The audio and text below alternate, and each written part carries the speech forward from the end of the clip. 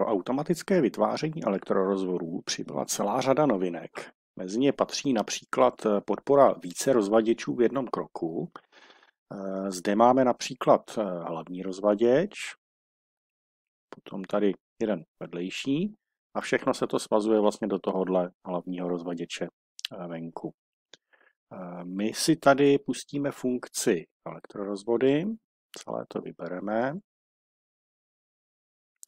A zde nahoře vidíte, že se mi automaticky napojil tento jeden rozvaděč na ten hlavní.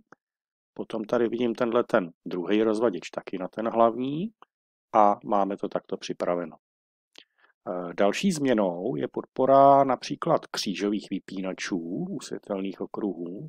Takže když si vezmeme, tady máme okruhy S1 5, tak si to tady takhle srovnáme. Najdeme si tady, vidíte i přehledně zobrazený jakoby sloupeček s vypínačema.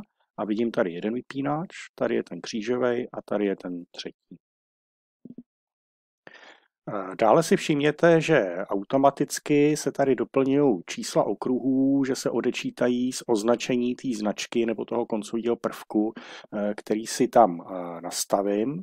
Případně pokud někdo dělá slaboprout, tak určitě využije tady možnost, jak se budou odečítat okruhy. To znamená, já třeba tady mám označený tuto svítidlo S1.5, ale chtěl bych to značit, že tam bude, dejme tomu, rozvaděč RH1, lomeno a potom S1.5 a tak dále.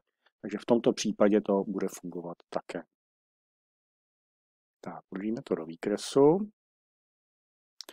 Eh, další změna, když jsem zmiňoval třeba ten slaboprout, eh, tak eh, v knihovně prvků u slaboproudých značení, jako tady mám třeba datovou zásuvku a tak dále, tak když ji vkládám, tak tam přibylo nejen, že je přednastavený třeba typ kabelu, který se běžně jako standardně používá, to si můžete i průběžně měnit, ale tady třeba si zadám i počet zásuvek, že jsou tam dvě zásuvky a automaticky se mi to správně počítá, eh, že tam jsou dva kabely.